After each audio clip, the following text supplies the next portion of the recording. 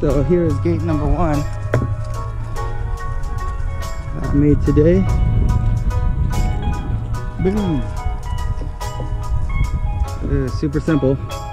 And it's meant to be elevated a little bit obviously and have a hole that's smaller than like the normal uh, multi-GP so you got to work on that accuracy. And then the other one, same exact gate except for I can set it up at a lower elevation so you have to work on those elevation changes. And I totally hit this full speed right there. And that's what happened so I'm gonna put that back with some sweet sweet hot glue it'll be perfect.